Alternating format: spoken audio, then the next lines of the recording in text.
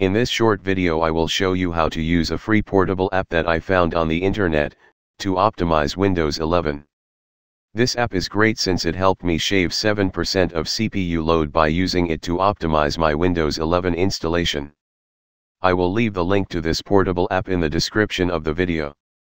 If you like this video and want more videos like this, please subscribe to my channel.